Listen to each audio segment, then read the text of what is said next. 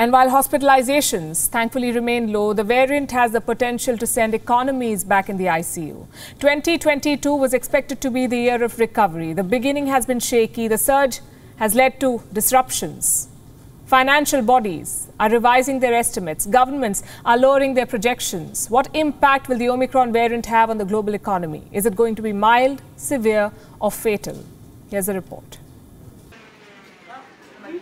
The sharp surge in Wuhan virus cases has renewed economic uncertainty the world over. The International Monetary Fund had estimated that the global economy would grow 4.9% in 2022. It is now expected to revise its estimates and release an updated forecast on January 25th. For now, the IMF has warned of rough times ahead. It says global economic growth could slow down thanks to what it calls the stubbornly resurgent pandemic. Irrespective of what the projections say, the suffering is evident. Omicron is sending every major sector back into familiar territory. It has already hit travel, spelling turbulence for the aviation industry. On Christmas Eve alone, more than 4,500 flights were cancelled globally. According to FlightAware, 18,500 flights have been cancelled since then. The cancellations are mostly due to staffing shortages caused by a spike in cases. Several airline companies are revising their winter schedule. Lufthansa has confirmed plans to cut 33,000 flights. In India, Indigo is expected to cut 20% of its flights. With several airlines on a wing and a prayer, the hospitality sector is expected to take a hit. Omicron has emptied hotels the world over. In India, 30% cancellations were reported in the last one week. Globally, too, rapid cancellations of hotel bookings are underway.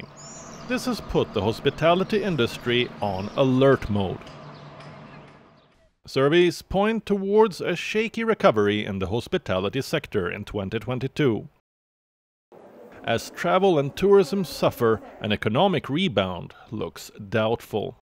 Mark Zandi, the chief economist at Moody's, says he expects a 2.2% economic growth in the US in the first quarter. That's less than half of a previous estimate of 5.2%, in Europe, Omicron is fueling inflation. Last month, inflation in the Eurozone unexpectedly hit 5%, the highest since 1997 for this 19 country bloc. Consumer prices are expected to rise further. Disruptions in supply chains will worsen, and depending on how long the Omicron surge lasts, these problems will only prolong or worsen. Back in India, the Department for Promotion of Industry and Internal Trade has said that Omicron is unlikely to have much of an economic impact. The DPIIT secretary says the impact will not be more than 5 to 10 basis points, for which the country is apparently prepared. Bureau Report, WION, World is One. WION is now available in your country. Download the app now and get all the news on the move.